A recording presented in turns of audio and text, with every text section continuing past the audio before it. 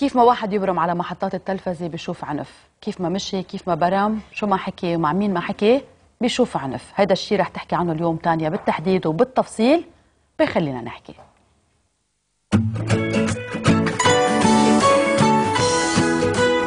صباح الخير. صباح النور. يعني واحد بدون ما يفكر صار عن جد كيف ما قلب التلفزيون بشوف قديش العنف صار عم بيوصل بالعالم قديش العالم ما بقى في عندهم إيمان ما بقى في عندهم آه إذا فينا نقول صبر ما بقى في واحد قادر يتحمل الثاني وكل واحد منهم عم يتصرف بقانون الغاب إذا فينا نقول. لأنه ما بقى في حدا عم يتصرف بطريقة حضارية ولا طريقة إنسانية. وللأسف معك حق وللأسف يعني آه هيدا اللي بنشوفه أكثر من غيره. يعني بنشوف الصورة العنفية تبعنا ما بننتبه للصورة الثانية أو ما بنركز عليها لأنه دماغنا ما بيساعدنا نحفظها. فبنشوف إنه بس العنف. اليوم رح نحكي كمان تحديدا عن العنف ضد المرأة يلي هي الكل بيقول على العالي نصف المجتمع بس هيك لنشوف قديش من جوا هي نصف المجتمع.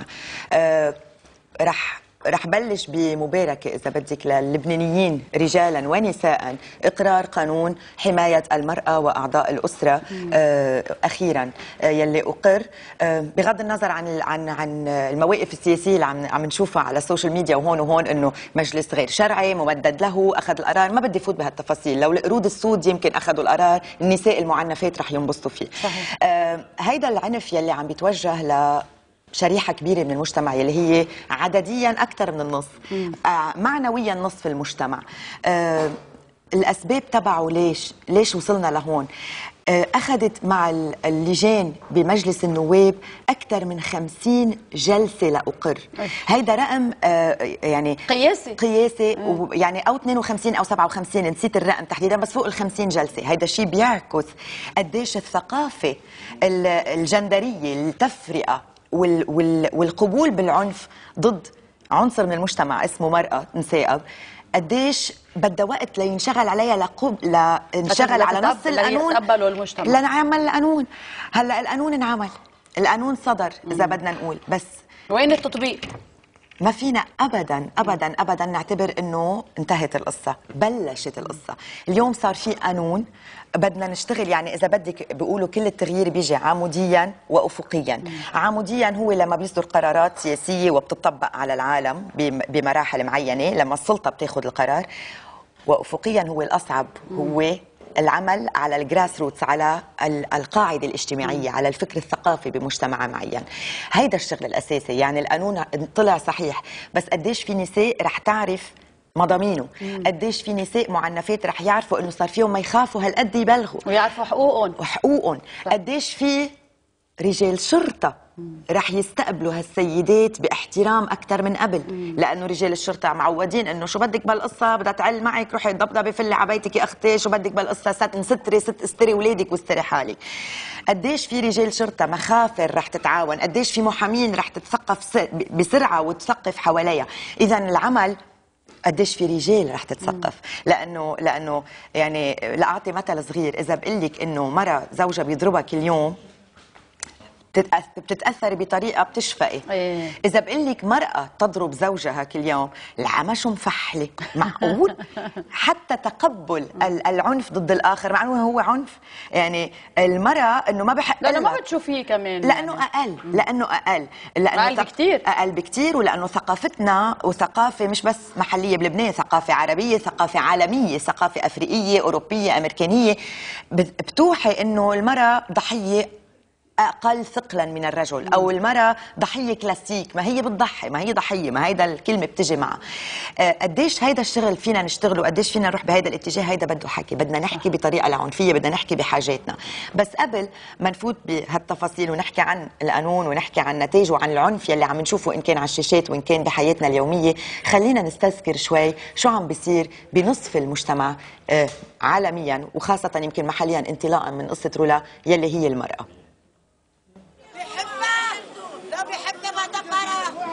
حرام حياتها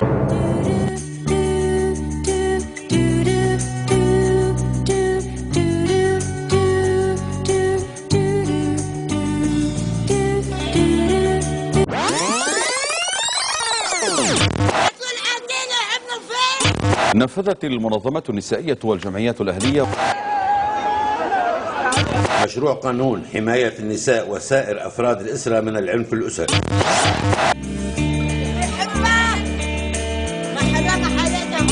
وها هم أفراد طالبان يستعدون لرجم امرأة جالسة من دون حراك على الأرض وهي مدانة من طالبان باكستان بتهمة أنها شوهدت مع رجل ويستمر الرجال بالرجم وبعد مدة قصيرة يهمد الجسد woman in Dubai who reported being raped only to receive a 16 month jail sentence for having sex outside marriage. This is the scene she was describing. A veiled Egyptian female protester being beaten by riot police. نزلوا يطالبون بجثة ابنتهم رولا يعقوب التي توفيت بعد ضربها من قبل زوجها صورة رولا لا تفارق عيني أمها الثكلى مؤكدة أن ابنتها كانت دوما تتعرض للضرب والاعتداء على يد زوجها بدي حق بنتي الاعتصام نفذ تحت شعار رولا ماتت بس صوتها ما مات. وللمطالبة بإقرار قانون مناهضة العنف ضد المرأة والعنف الأسري بعد نضال طويل خطى قانون حماية النساء من العنف الأسري خطوة كبيرة باتجاه إبصار النور. وصلنا إلى هذه المحطة المهمة. بفضل إيماننا الصادق بقضيتنا وبإصرارنا رغم كل العقبات التي اعترضت طريقنا ونجحنا في تخطيها. يعني هيدا مثال صغير كتير بعد في أمثلة أبشع بكتير في صحيح. تزويج القاصرات إن كان بعالم العربي وإن كان بأفريقيا وإن كان بآسيا آه، في عملية آه، تشويه الأعضاء التناسلية لدى الفتيات يلي سميته هيك لأنه لأنه في عدة أشكال للإكسيزيون في عدة أشكال لها في ببعض الحالات للختان. الختان بيوصل لأبعد بكتير من الختان بيوصل صحيح. لإلغاء هويتها الجنسية للمرأة آه، إلى ما هنالك من تصرفات التحرش الجنسي أو التحرش إن كان بأماكن العمل إن كان على الطرقات. يعني عم نشوفهم هلأ بالقاهرة أو بمصر عم عم نطلع ونشوفهم أكثر بس هن وين ما كان موجودين بالعالم. بينحكى مع الشاب بيقول لهم إنه الحق عليها بلبسها. إذا محجبة بيقول لهم الحق عليها بمشيتها. يعني بيطرح حاله السؤال طب إذا هي المرأة شر مطلق طب أنت ما بتعرف تسيطر على حاجاتك؟ إذا أنت ما بتقدر تسيطر على حاجاتك انسانيتك وين يعني نحن بشر عندنا إمكانية السيطرة على كل شيء بحالنا بحاجاتنا بتطلعاتنا بميولنا الجنسية. إذا ما بنقدر نسيطر عليهم المشكلة مش عند غيرنا المشكلة عندنا. صحيح، صحيح. فإذا يمكن لازم نرجع على أساس الثقافة تبعنا. آه كل شهر بتموت مرة بلبنان من العنف الأنثري. كل يوم بتموت 100 مرة من العنف الشفهي الأسري. إيه.